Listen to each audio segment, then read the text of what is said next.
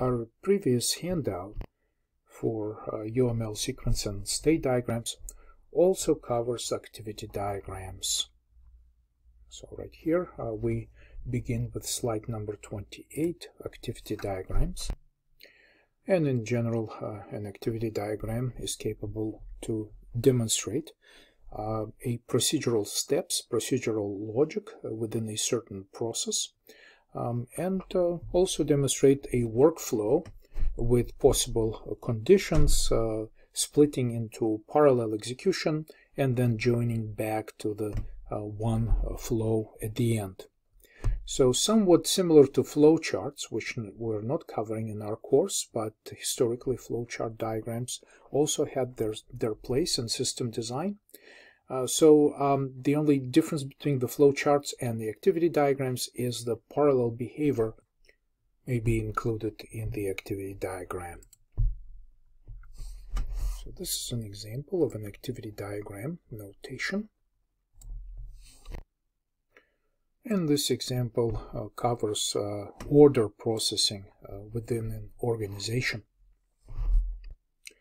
A major component of an activity diagram is uh, a set of uh, bubbles uh, which display the activity. So they simply briefly describe what kind of activity is taking place. The initial node right here shows where the activity begins so this clear indication where we need to start looking uh, at the activity in this diagram. And basically we begin it uh, with uh, the receive order. So there's a, a order received uh, and now there's a something we call a fork uh, which has one incoming activity flow and uh, potentially multiple outgoing concurrent fl flows of activity. So you can see that here, this is where um, activity diagrams allows us to essentially visualize that we can have two parallels branches uh, uh, of activities and uh, in the future we can actually add other parallel branches of activities uh, to this uh, uh, to this activity diagram. And that's where I think is the most usable uh, part of the activity diagram uh, resides is the ability to have something that's called a fork and a join. Where basically at the fork. We launch parallel execution. uh, of uh, additional activities. And then at the join we basically wait for all of the parallel activities to arrive here and be completed. So in this process order example fill order um, uh, send uh, invoice, and their subsequent actions are executed, of course, uh, in parallel. So those activities may occur in any order, and but at the same time right? So something here may take longer a longer time to complete, or something here can may be taking a longer time to complete. So these are truly parallel executions. So in uh, computer architecture, we have independent execution threads of ex uh, or threads of execution uh, that can do this work in parallel using uh, utilizing our CPU on the computer. So the join here, like I said, it's waiting for these activities to complete. Um, and uh, it has a single uh, outgoing flow, which then proceeds only when all of the uh, incoming uh, incoming branches uh, reach this join. All right, so this is uh, something that is just the basic construction part of activity diagram. Now this diamond shape uh, indicates what we call a decision making or decision uh, block uh, uh that also could create uh, mm, uh, separate branches. But this time the decision making does not create two parallel processes. It's either one of one or the other that takes place based on the decision that we make um, at this place in our activity. So we refer to these branches as guarded uh, outbound flows and the guarding uh, here is taking place because of the decision making that we have to uh, complete uh, to decide which which uh, which direction to follow. So the Boolean condition uh, sometimes can also be specified in a diagram inside square brackets. So the guard typically has um, true or false, but it also also could be like uh, a numbered outcome one, two, three, four, five. So this is called a merge, and oftentimes a merge can be just simplified to a notation like this, just just just gets simplified to very very simple join like this. This is not a decision making here. We just basically indicate that from this point we just continue uh, the flow to the next uh, part of the activity diagram. So in general merge is the marking of the ending of the conditional uh, behavior which starts uh, at the decision making point So these are the summary uh, bullet points that we just discussed about the elements of activity diagrams and information about Boolean uh, conditions and guards. And uh, something else that we can use with, um, uh, with activity diagrams is to uh, recognize uh, parallel processes in their dedicated swim lanes. So this is now a modified version of the same diagram that we had on our uh, previous, uh, previous demo. And these activity bubbles here generally indicate what is happening, what kind of tasks uh, we're trying to perform within all of all of these sequences of multiple activities. But these bubbles really cannot tell who is doing it. So uh, the meaning of this is that the, the activity diagram does not directly specify what classes in our system design are responsible for individual actions. All right, so to uh, fix this uh, weakness of activity diagram, they can be partitioned like this using partition lanes and uh, organizing uh, three, in our case, three swim uh, lanes, three partitions um, that basically uh, demonstrate um, uh, what specific uh, classes or components of the system supposed to be providing these tasks uh, and providing um, the, the implementation of these operations.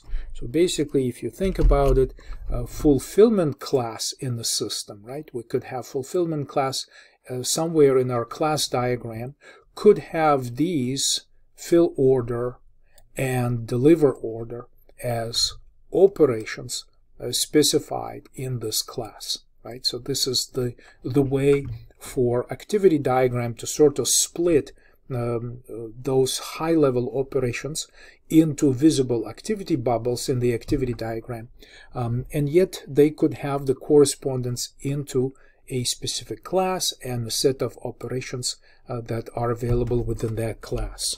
So that's just an idea of how we can uh, we can reorganize a little bit uh, uh our activity diagrams. And so this time we can see uh, which classes, if things are happening in parallel after uh, doing this fork and splitting into individual parallel processes here. So we can see that uh, uh, certain classes in the system or uh, those could be names of subsystems or components in our software design, which will be providing these operations uh, within them uh, so that these activities can be performed uh, in as as prescribed by the the activity diagram that we try to create. So in general, this is uh, something that uh, uh, can be effective to uh, display uh, parallel execution in our system and what components are responsible for operations participating in these activities. So in summary, typical uses of activity diagrams um, are that we can create UML compliant flowcharts, the logic uh, logic flow charts uh, for parts of the system design. Uh, flowcharts, of course, support decision making uh, and merges uh, after decision making, uh, but also we can use it in business uh, to to to model business processes between multiple departments in the organization and similar similar type of business modeling. And uh, activity diagrams, in my view, are most powerful when we need to demonstrate parallel processing happening uh, within our system. So that is, of course, done with forks and joints uh, that are um, that are parts of, of or elements that we can use in our um, activity diagrams. So this is uh, parallel behavior or, or uh, parallel process modeling. And so that's your choice for the diagram if you need to be able to demonstrate something like this. In our case, where I'm asking you to upload activity UML diagram for uh, elevator uh, simulation use case in our uh, elevator project design, we also could have examples of um, uh, parallel processing uh, in, in the system for instance, uh, a user could have multiple views active at the same time on the screen.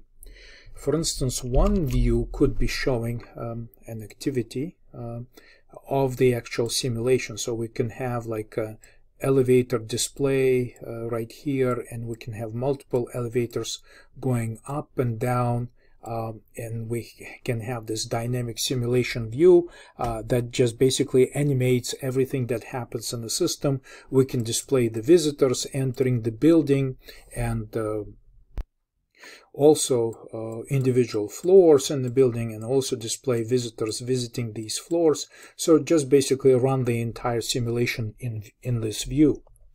And the second view that the user could optionally open at the same time during this simulation uh, could be showing statistics with the number of visitors in the system. So basically just statistical numbers, possibly even bar charts indicating some kind of graphical information about uh, the statistics that we're gathering during this uh, simulation.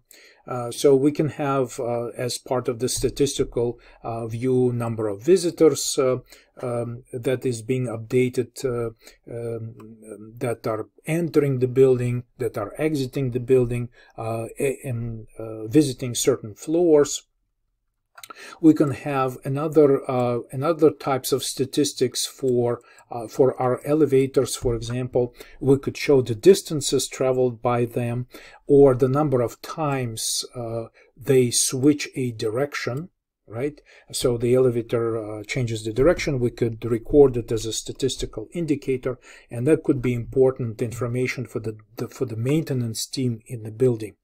So these are two parallel views, and so mm, basically whatever happens uh, uh, to our system objects during the animation and what happens when we update and display the statistics could be shown as as, as two parallel processes, I suppose, uh, in our elevator project design.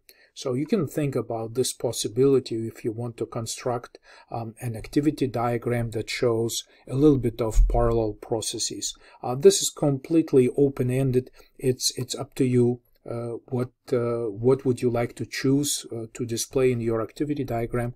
But just thinking about the system design and what what would you like the system to do if you were if you were to design it and uh, have a team of programmers uh, doing the actual implementation